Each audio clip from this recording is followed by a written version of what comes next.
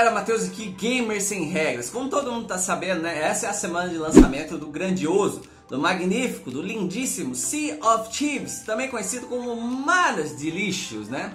É, pessoal, finalmente a gente vai ter aí a oportunidade né, de jogar esse grandioso jogo. Finalmente, digo eu, porque esse jogo, pra quem não tá sabendo, né, ele já foi anunciado, ele já foi apresentado há um bom tempo atrás, se eu não me engano, na E3 de 2014, né? Ele foi anunciado tal como sendo um novo jogo da Rare, né? Com um trailer de gameplay ali que tava até relativamente bonito, assim, né? Apesar dos gráficos do jogo ser de cartoon ali e tal, né? Tava com um aspecto mais ou menos bonito. Agora que o jogo finalmente está na mão aí do povo, né, a gente pode comparar ah, com o jogo finalizado, com o jogo real, digamos assim, e ver será que o jogo final, o jogo que a galera vai jogar, corresponde àquilo que foi mostrado?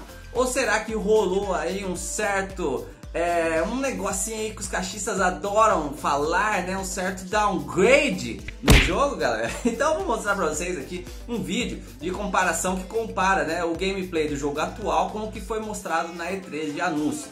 É, o autor desse vídeo aqui, velho, é ninguém menos do que o mesmo cara aí que criou o vídeo de comparação, por exemplo, do God of War, né? Que o pessoal usou para alegar downgrade. Foi o cara que criou o vídeo, né? Do Detroit Become Human, que o pessoal usou para alegar downgrade. Então tem um detalhe. Cachistinha Antes de você querer botar defeito no vídeo aqui, velho, lembre-se, né, que você usou vídeos desse mesmo cara aqui é, para se satisfazer, né, quando convinha. Então não queira usar as coisas só quando te convém. Você fica bem quietinho e assiste até o final para você ver e tirar as suas conclusões.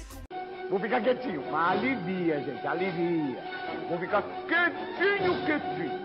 Na minha opinião, e eu quero saber a opinião de vocês depois aí nos comentários, né? É, dá pra perceber aqui que a posição do sol está um pouquinho diferente no gameplay atual. Porém, eu acho que é mais do que evidente, velho, e, a, e se vocês assistirem e prestarem atenção, acho que vocês também vão perceber, assim como eu percebi, que a qualidade de alguns dos materiais aqui no jogo finalizado deixa a desejar em comparação com a demo. Por exemplo, texturas, as texturas do chão, a vegetação e principalmente assim que eu notei a qualidade da água tá diferente também e principalmente que eu notei, né, como eu ia falar, a qualidade das sombras, ela está bem bem pior no jogo finalizado. É, quem já jogou em PC, por exemplo, sabe né, que você pode regular ali a qualidade das sombras, tá? é uma coisa que pesa bastante, né? E você vê que no jogo final aqui as sombras estão bem estilo soft shadow, né, que eles chamam, não estão sombras tão definidas assim, e a diferença realmente é mais ou menos gritante. Né? Já tinha gente ali alegando que o downgrade que esse jogo sofreu é, faz os jogos da Ubisoft parecerem brincadeira até, né? Mas eu quero saber a opinião de vocês aí nos comentários, né? Então assistam o vídeo aí a seguir e depois me digam se você acha que teve downgrade ou não. Eu quero saber a opinião de vocês aí. Se você gostou do vídeo, é claro, deixa o like aí, compartilha e tal.